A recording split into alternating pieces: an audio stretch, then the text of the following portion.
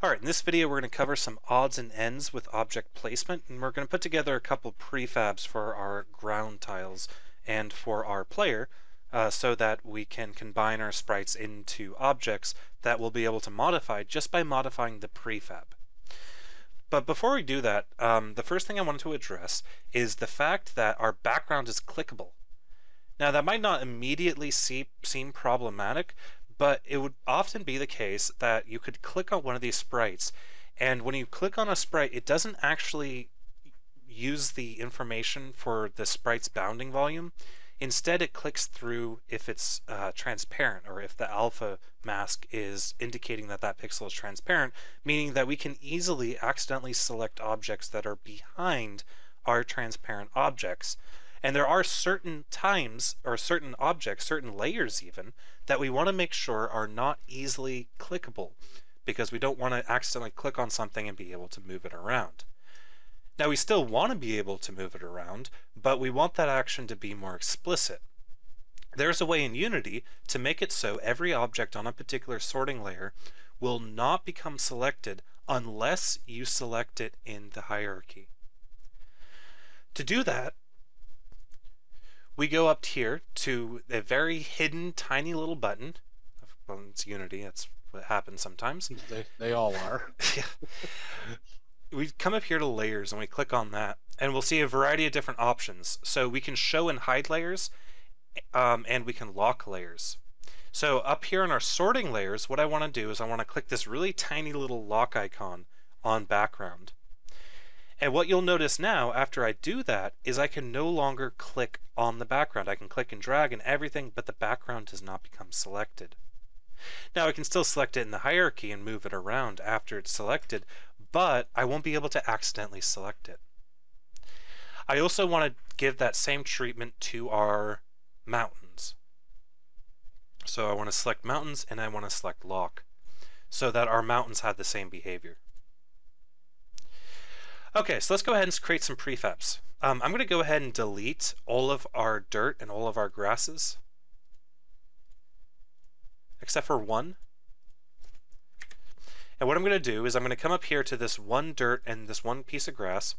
I'm going to create a new game object, an empty game object, and I'm going to call this dirt grass full. Now this is important. I'm going to select the position of this game object to be 0, 0, 0. Then I'm going to select dirt full and grass 2 and I'm going to parent it to dirt grass full. Then I'm going to now I now have an object called dirt grass full which I can duplicate as many times as I want and it comes with a dirt full and a grass 2. But in addition to that I want to turn it into a prefab so I can easily add these in the future.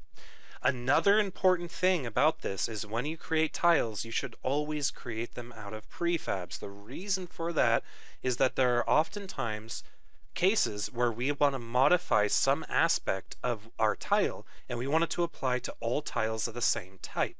For example, let's say I added a collider to this. So I want my player to be able to collide with this object. If I had just been duplicating all of my sprites all over the place, I would have to make that change to every single individual object. But by preemptively turning these into prefabs, I'll be able to modify all of those objects just by modifying the prefab instance and applying that change. So what I'm going to do is I'm going to come up here to create, and I'm going to say create folder, and I'm going to call it prefabs. And then under that, I'm going to create another folder, and let's call this uh, tiles. Then I'm going to click and drag dirt grass full into tiles. And I now have a dirt grass full prefab that I can instantiate wherever I want. And then I can remove them. Next up, let's talk a little bit about snapping. Unity allows us to snap our objects to an invisible grid. To do that, we go up here to Edit, and we find Snap Settings all the way here at the bottom. If we click on this, we will get our snap settings. So we have Move X, Move Y, Move Z, Scale, and Rotation. So these will be the spacing in units for moving these objects. So let's say I go ahead and hit 1, 1 on move y and move x and 1 on move z. Let's keep the scale on 0, 1 and the rotation at 15 for that form of snapping. And let's close out of our snap settings. You'll notice that it doesn't actually affect anything by default. What you have to do is you have to hold down control. So now you'll see that I'm snapping at one unit while holding down control and moving this object. So that's really useful. So now I can select Dirtgrass Full, hit Control D, move it forward, and you'll notice it doesn't quite align perfectly. Now the reason why it doesn't align perfectly has to do with the math behind the snap settings as a setting inside of our sprite imports that determine the pixels to units. So we'll see that our texture atlas main has a pixel to units of 100. So that's going to be the generated mesh scale of this. So every pixel is going to be 100 units. So with some math, um, I'm not gonna. Go, you, can, you guys can read about the snap settings. I don't. They're not that great, but they do kind of definitely sort of help most of the time. So I just wanted to point it out real fast, and then, um, well, I don't want to worry about it again. Um, I'm just going to do it at point 0.3. And if you work out the math, that will work out to allow us to snap these particular size tiles um, and have them tile almost perfectly. Maybe it could have been something like um, um, 0.37 was it?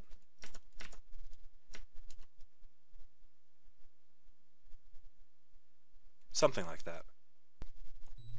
And of course, since today I can't math, um, let's go to snap settings. We, wow, I, I can't believe this flew over my head uh, a, a, couple seconds ago.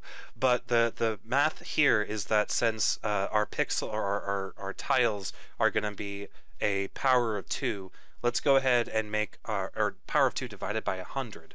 Let's because that's our pixels to units let's go ahead and make this a power of 2 divided by 100, so like 0.32, or even 0.64. Uh, 0.64 should work pretty good with these tiles. So I'm going to delete two of these guys. I'm going to grab this, hold down control, and you'll see we get an almost perfect snapping. Hold down control again, and yeah, so now we can sit here and control D and grab all of these guys, control D, and we now have uh, grass with a tiled background. So that looks good. Uh, if you zoom in, you'll see a small pixel of an error, but that's okay. Okay, so now that we have um, our dirt grass full, let's create a couple other prefabs. So I'm actually going to delete all these because um, now they're so easy to create, I don't really care. Um, my trees, um, I'm going to go ahead and let's go ahead and prefabify my trees. I'm going to set it scale to 111. The reason I want to prefabify them is so that I can modify their sorting order just by editing one object as opposed to editing all of them. So I'll add tree. Um, I guess I'll add it, it isn't technically a tile, but I'll add it to the tiles folder. Then I'll delete the other two trees. Okay, so now we have our trees, we have our dirt grass full. Um, let's go ahead and um, I'm going to duplicate our dirt grass full so that we get our um, our things like our uh, sorting order set appropriately. But then I'm going to delete grass 2 and you'll notice that breaks the prefab instance. And I'm going to call this dirtful. dirtful. Anyway. and then I'm going to prefab. Very dirtful of you. Yeah, it's very dirtful of me. I'm going to go ahead and prefabify it by um, dragging it from hierarchy over into tiles. So again, because I've done that, I can now drag out a dirtful or a dirt grassful in a, as one unit. Now that we have our dirtful, let's go ahead and um, I'm going to come here. I'm going to create an empty game object and I'm going to call it um, dirt mid and I'm going to place that 0, 0, 0. come down here to dirt mid, drag it out. I'm going to place the dirt mid at 0, 0, 0, so they're both at 0, 0, 0. It might be difficult to see, but it is right there, as you can see. I'm going to parent them, so dirt mid is a child of dirt mid. And then I'm going to prefabify it as dirt mid. Um, wait a sec, I forgot to, uh, Steve, you let me forget the sorting order. Oh, I did. Right. I blame me completely. You should. Um, let's set the sorting order to foreground. Come back here to dirt mid, pull that out, turn it into a prefab. Now we have dirt mid. Let's create our uh, dirt mid grass, or dirt grass mid. So what I'm going to do is I'm going to select dirt mid. I'm going to say game object break prefab instance so it's no longer related to that prefab. Then I'm going to pull out a grass 2 and I'm going to place it at 0 and then for the y-axis I'm going to place it right about there. And then I'm going to parent it to dirt mid and I'm going to set its sorting layer to foreground. Then I'm going to take dirt mid and I'm going to turn it into a prefab. So now I have dirt full, dirt grass full, dirt mid. Uh, this is going to be called dirt grass mid, so go ahead and rename the prefab. Then I'm going to uh, remove it from my scene. So now we have our dirt full, dirt grass full, dirt mid, dirt grass mid. Uh, let's do our dirt. Uh, this is also our platform as well. So we'll have dirt. I'll set the layer to foreground. Um, just to follow along with the convention that we have with our other prefabs, I'm going to create an empty game object, place it at 000. I'm going to rename it dirt. Come up here, parent it, then I'm going to prefabify it. I love the word prefabify.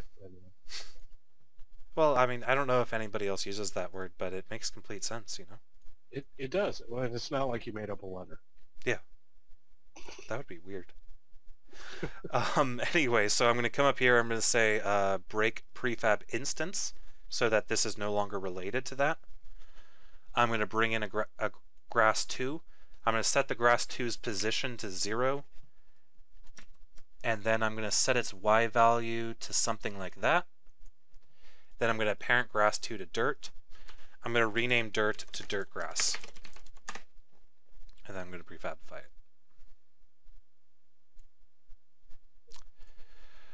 Okay, so we now have our tree, dirt mid, dirt grass mid, dirt grass full, dirt grass, dirt full, dirt.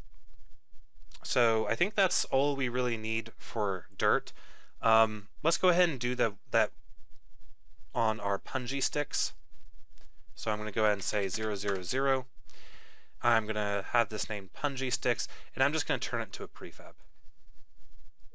The reason I'm turning punji sticks into a prefab, by the way, is that in the future we're actually going to be adding scripts to our punji scripts or punji sticks, uh, scripts that result in a player death. Now, what I want to happen though is I want to be able to build my level without knowing exactly all the functionality I'm going to be placing on my objects. So that's why I create prefabs, so that when I do go in to actually add that functionality in, I just have to apply that script to this prefab and it'll be applied to all of my objects of that type. So it makes it very convenient. Uh, I'm not going to worry about prefabifying our mountains um, because our mountains are mostly going to be constructed by just control D'ing and that might be a little bit of waste of space. But anyway. Now, would, would that matter with a prefab if you wanted to parallax the mountains? Um, no, when we go to parallax, what we're going to be doing is uh, we're going to be adding all of these to like a parent object, and then that one parent object will have a script to it. Ah, okay. And this, I mean, this is really pretty simple as far as prefabs go. If uh, you're over at 3D Buzz and joining us in the MMO training class, uh, you would get to see that taken to the next level with 3D objects and what you can do. But this is a really good primer for why you want to have prefabs. Yeah, I mean, prefabs are an incredibly powerful concept in Unity, and there's a lot of different ways to take advantage of them.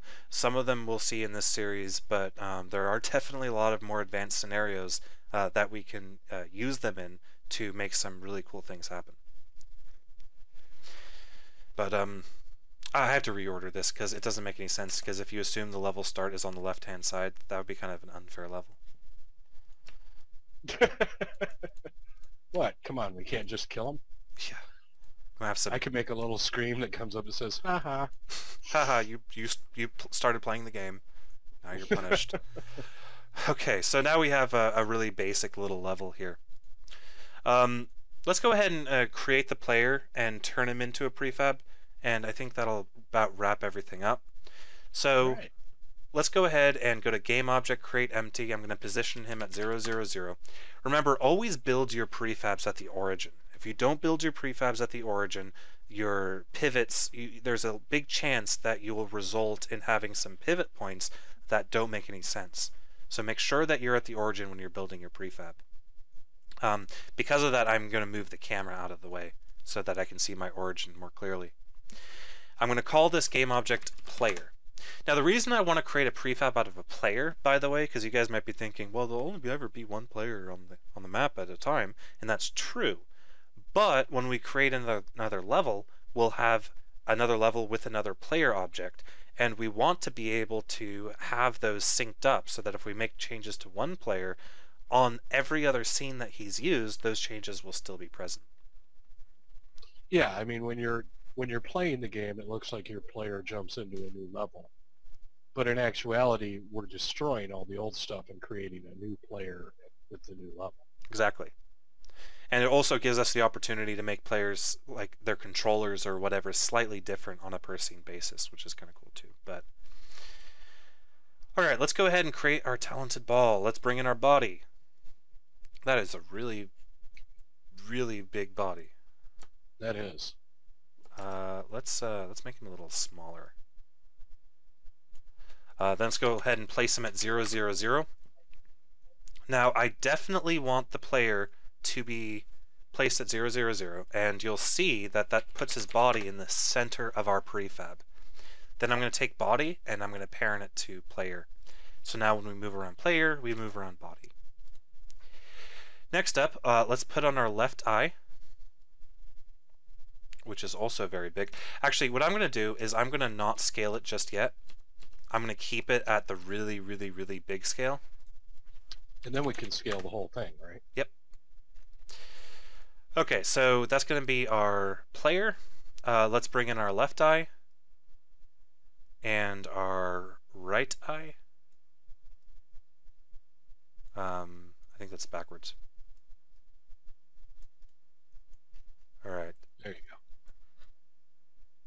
There you go. Is that good, Steve? I'm not. See, as you guys can tell, I'm not an artist. Um, take both of those and rotate them counterclockwise just a little. So that their curve kind of matches the curve of the ball, body ball. There we go. Alrighty. Um, I am also going to, uh, we'll worry about this in a second, but I will be creating a layer for my player um, so that everything looks good. Um, let's put in the left eye white.